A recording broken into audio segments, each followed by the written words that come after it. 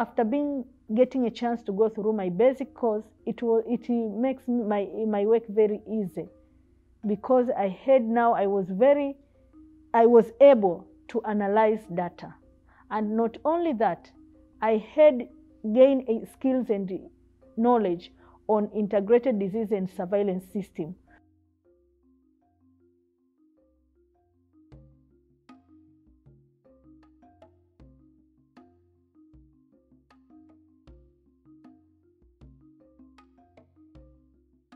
I learned a lot of things through FETP.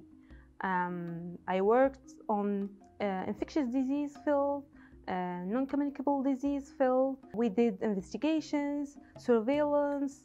I like the field component of FETP. It makes you beyond what you you read. It makes you you know get to see some things real time. The challenges in some of those settings. So you're on the field and some things you need to apply a lot of, of maybe your experiences coming to bear or learning on the job. After we did projects, we uh, were able uh, we were able to uh, submit our abstract like conference like this and to meet uh, other FETP uh, trainees graduate from other country and to share uh, what we've done, what project we've done, and to learn from others is a very great opportunity for me.